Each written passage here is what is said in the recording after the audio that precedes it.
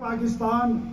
اور یہ جدوجہد کا سلسلہ، یہ آج کا سلسلہ نہیں، یہ سلسلہ اتنا ہی پرانا ہے جتنی خود پاکستان کی تاریخ ہے۔ میرے بچوں، میرے نوجوانوں، دو باتیں آپ سے کرنی ضروری ہے ایک بات پاکستان کے حوالے سے ہے، اس لیے کہ اسلامی جمعیت طلبہ کی تاریخ بھی اتنی ہی پرانی ہے جتنی پاکستان کی تاریخ ہے اور آپ کا ماضی قربانیوں کی تاریخ پہ مبنی ہے اور پاکستان کا مستقبل آپ کے روشن مستقبل کے ساتھ محیط ہے۔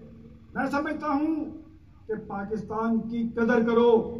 پاکستان آج گمبھیر صورتحال سے دو چار ہے۔ آج پاکستان کے ارد گرد ایک نئی صورتحال تاری کرنے کی کوشش کی جا رہی ہے۔ اور اس صورتحال میں ہم پاکستان کو بچانے کے لیے آپ نے ایک مرتبہ پھر وہی رول ادا کرنا ہے جو ہر کڑے وقت میں اسلامی جمعیت طلبہ کے نوجوانوں نے ادا کیا۔ تحریک ختم نبوت ہو، تحریک جمہوریت ہو، تحریک نظام مصطفیٰ ہو عدیہ کی بحالی کی تحریک ہو طلبہ کے حقوق کی بات ہو، ہمیشہ آپ ان تحریکوں کا ہراول دستہ رہے ہیں۔ آج پاکستانیت کے جذبے کو بروئے کار لانے کی ضرورت ہے۔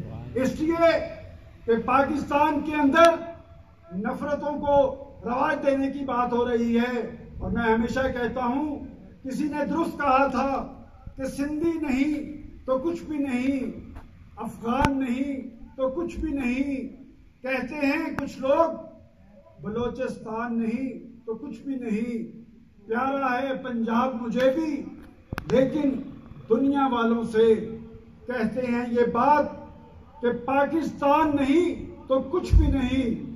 میرے میرے نوجوانوں، میرے بیٹوں آج کشمیر پر نریندر مودی نے پانچ اگست کو غاسپانہ قبضہ کیا۔ وہاں پر مسلسل کرفیو کا تسلسل جاری ہے۔ وہاں پر انسانی صورتحال پیدا کر دی گئی ہے۔ ان کے لیے کھانے پینے کی اشیاء میسر نہیں، لیکن میں سلام پیش کرتا ہوں۔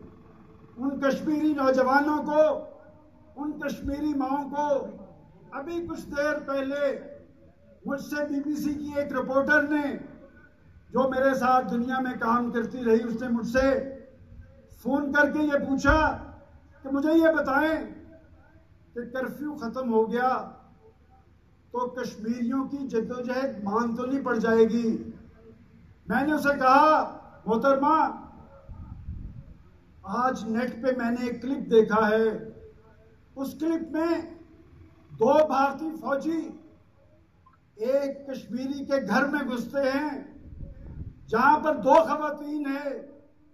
ایک خاتون کو مخاطب کرتے ہوئے وہ بھارتی فوجی گالی نکالتا ہے اور اسے کہتا ہے کہ اپنے بیٹے کو باز کر لو، اپنے بیٹے کو اس کو کہو کہ اپنے طرز عمل پر نظر ثانی کرے۔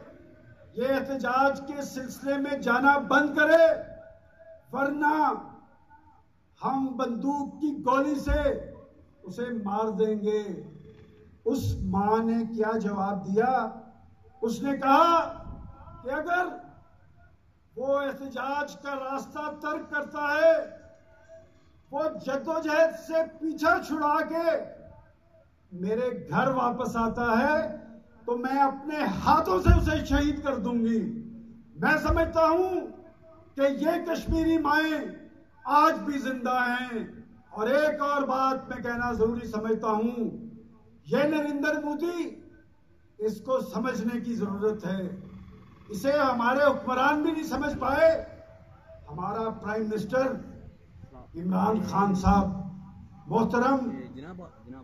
بھارتی الیکشن سے پہلے یہ کہتے دکھائی دیے کہ نریندر مودی انتخاب جیت جائے گا تو کشمیر کا مسئلہ حل ہو جائے گا۔ کشمیر کا مسئلہ اس نے تو حل کر دیا، لیکن خان صاحب، یہ آزادی کی تحریکیں طاقت اور قوت کے استعمال کے ذریعے ختم نہیں ہوتی۔